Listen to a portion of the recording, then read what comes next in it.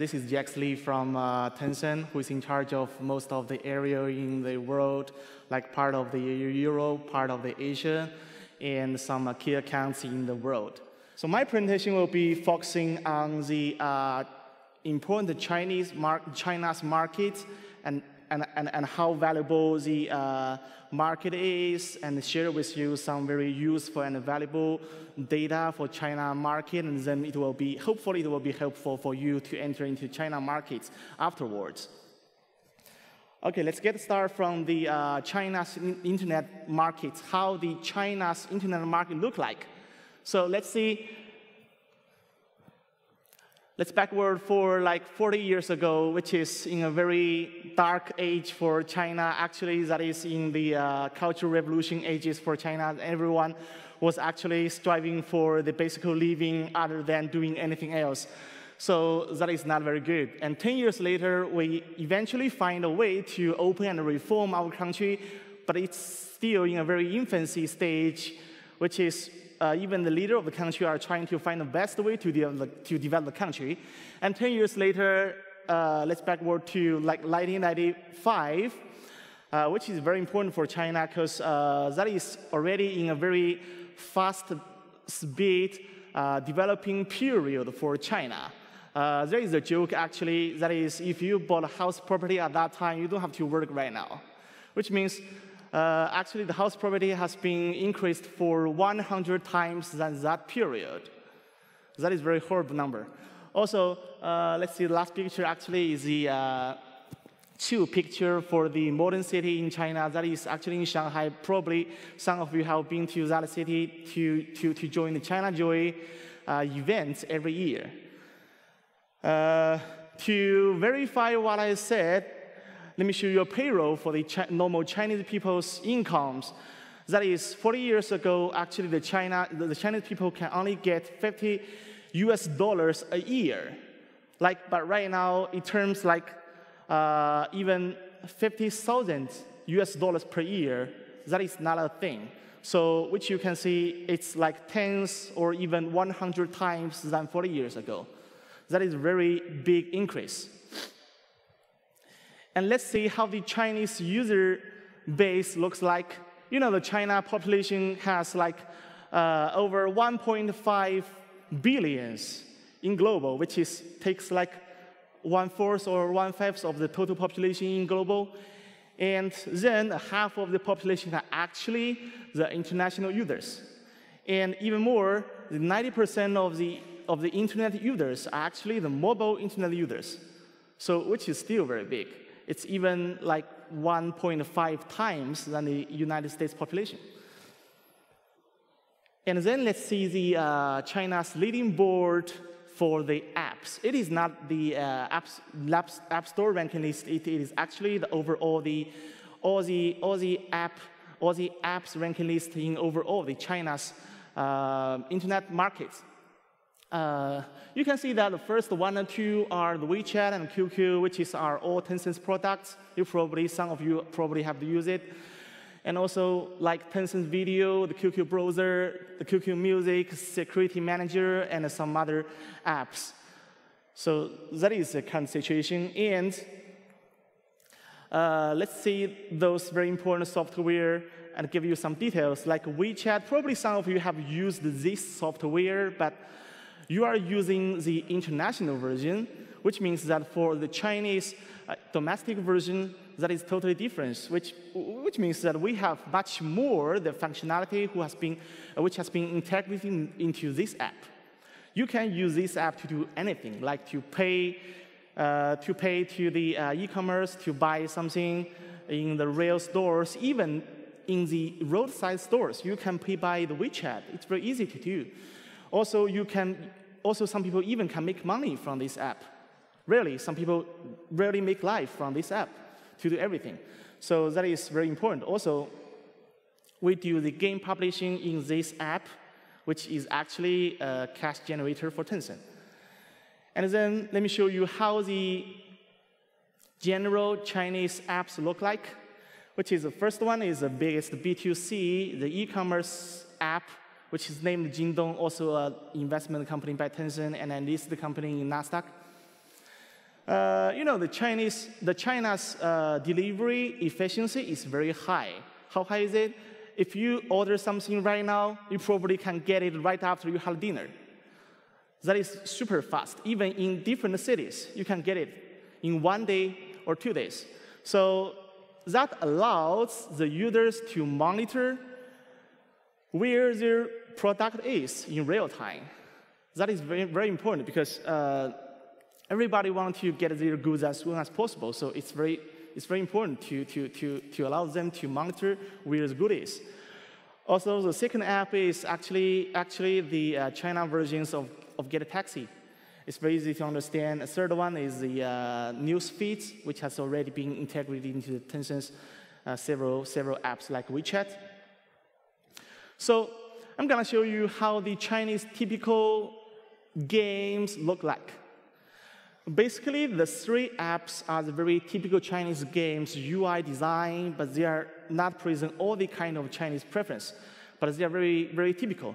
So the first one is actually based on the Chinese, the China's very uh, ancient kind, ancient style, the uh, swordsman or the kung fu movie IP or the series, uh, which is repeatedly broadcasted in the TV sets in prime time every day. So, which means that every Chinese is very familiar with such kind of the uh, IPs that apparently can make this, game, this kind of game very profitable. And then second one is actually the, the, the uh, Crossfire's mobile version, which is uh, naturally could be very, very, very successful as well. And also the third one is uh, based on a very classic, the Korean games in the like last decade, which is the uh, Legend of Miracle. You probably know about that. So that is the typical UI design of the Chinese games. Also, let me show you that how the Chinese online game, online game market look like, okay? So, see this page?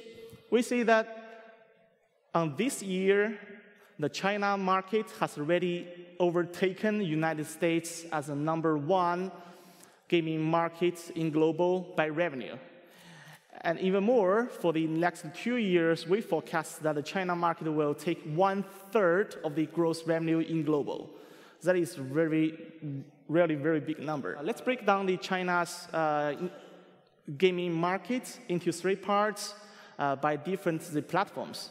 So apparently you can see that the China's mobile game market is getting much faster in terms of the growth rate than the other two kind of the games. So which means that in the mobile game market, there is more opportunity for us to drive. And why? That is the reason. Uh, because of Tencent, in the last five years, we have a very significant growth in the past five years. You know, just think about like that. For a startup, such a such a growth rate is not a thing, right? Because uh, it is it is still quite small. But for Tencent, for such a big giant in China, uh, to keep such a very big growth rate is, it is not very easy to achieve. So that is, I think, for me, it, it is very proud of. And then, what is the result?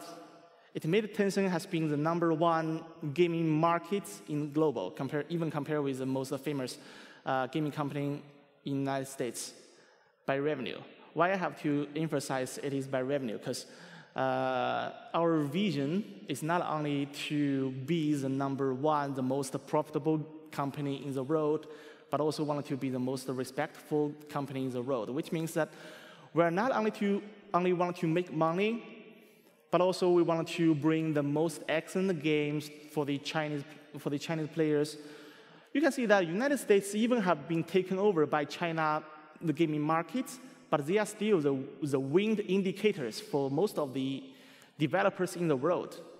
How come? Because uh, their games is still stands for the most advanced type in the world. So that is what we're going to do in the following years. Uh, I guess that most of the audience sitting here are the uh, mobile game related stuff, but I still think it's worth telling you about some pages about the Chinese, uh, the China's PC online games, because it's very important. It's still number one uh, share of the uh, gross China's gaming market. So uh, if we break down the Chinese game market, you can see that PC online game market, you can see that the RPG game still takes the most share uh, in the chart, but it's, it's get to shrink because uh, the other two important types, the shooting games and mobile games is getting bigger and bigger. And then see this chart, uh, Tencent has already taken like over 90% of most all the other kind of the market segments. But for the RPG kind of market segment, we still are quite young because we have to admit that we didn't, we, we, we haven't made a very good job on the RPG uh, of the games. But what we are proud of is we keep bringing the most creative and innovative games for the Chinese players to play other than only playing and focusing on the RPG games. So here is some example of, of, of our products and portfolio. Uh, strictly speaking, that Tencent is getting from is getting start start from uh, the game business since 2008, but actually we start doing the uh, game business start from uh, 2003, which is actually a mini game collection. And once we decided to, to do some uh, very authentic PC Online games in, in 2008, it's, it was booming up, which means that you can see that the Crossfire and the, and the DNF are actually, even now, the most successful games in China markets, and it makes us the, the biggest giant in the Chinese markets. And then uh, what I have to say is, in the following years, since 2008, we are getting to license more and more the Western games, which we think they can bring the users, our, our, our, customers, more different experience. So that is our vision, and that is what we are keeping doing. So let's get into the most impo important part, that is the China's uh, mobile game market. So let me let me review the data again. That is, uh, for this year, the, China, the, the, the, China's gaming mobile game market has already taken like one fourth of the gross revenue in global. And even more, that is for the next years, we are going to take one third of the gross revenue in the world. So that is very remarkable things to do, right? So that makes nobody can ignore such a big market. Even it is not very easy to enter. So if we break down the uh, Chinese game market in terms of the value chain, you can easily find that for each segment, it take like one almost like take one third of the total pie. Uh, but what we are, what I'm going to emphasize is, please focus on the light blue part, uh, which is actually that is um, the money that is actually made by our partners or some uh, company which is related to Tencent. So what I'm going to say is Tencent is not that kind of company who want to make money by, this, by ourselves, but we also want to help the third-party company or partners to, to, to, to make money as well in this market because we believe that the talents, uh, the other kind of, source, uh, of, of, of, of resource, the thoughts, can help uh, growing the market healthily. Okay. So this is uh, almost all the apps that we have been listed in the uh, first position in China market in App Store. That you can see there is over like 50% apps have been listed into the one, the, the, the first position in China's, China's App Store. Also, please see this chart. This is a little bit old uh, until March of this year, but I have to say, I just want to show you that how the Chinese uh, leaderboard looks like. Because for all the blue ones are Tencent games uh, in, the, in the past months. So I just show you the objective results that it comes out.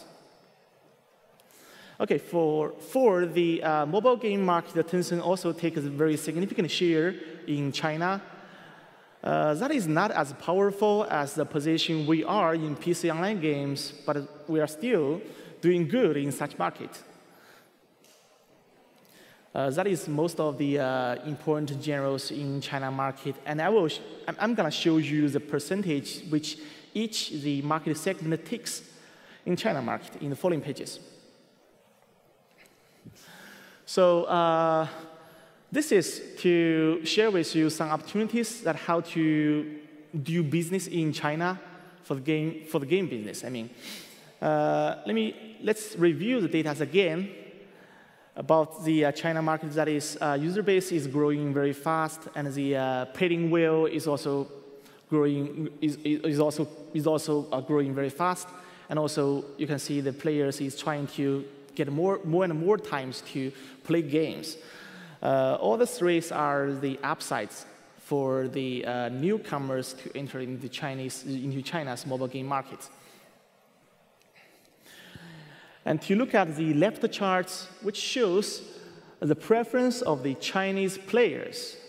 But it then stands for uh, the most profitable part of the, of the, of, of the Chinese market segment. Because look at the right part, we can see that the RPG games is still the most profitable game in general in Chinese market, but most of the Chinese uh, players would like to play some casual games.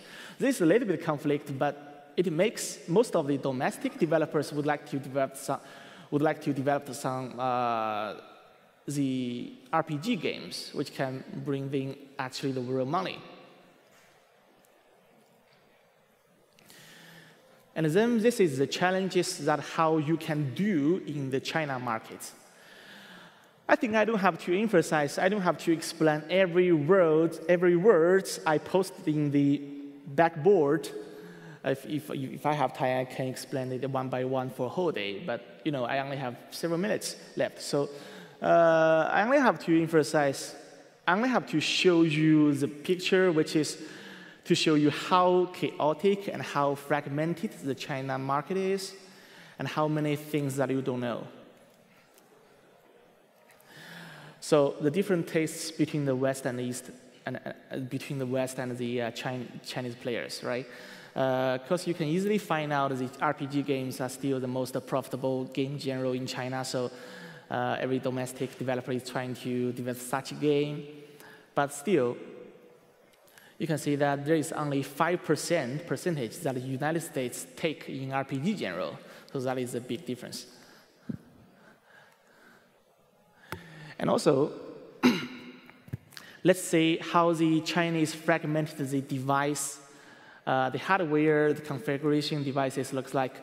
Uh, personally, I'm not very agree with the title low end, because you can easily find out there is only one third of the device are actually less than 120 US dollars, right? Because uh, there is more than two-thirds of the devices are actually in the middle or in the high end or high classes, high class. So uh, actually, for the developers, you don't have to mind at all about the configuration of the device, because uh, I think most of the devices can play any games here. But one thing you have to mind is there is really very, very fragmented, which means that there's very different devices in China. You have to consider adoption, the compliance of each devices. So it's better to find out uh, a best partner to cooperate with in China to help you to, to, to, to test every app you're going to put into the market. And then it shows the uh, fragmented app store in China's Android market. Uh, data shows actually there is 300, more than 300 Android market in China. So you, even for me, I don't know, I cannot tell every name of them. So for foreigners, it's totally confused.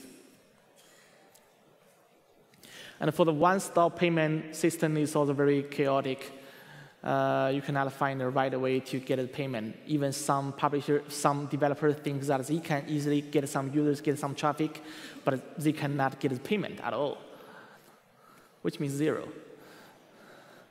So what we can do and what you can do in the future, that is, I'm going to let you know uh, what is a typical cooperation that Tencent can do in the market.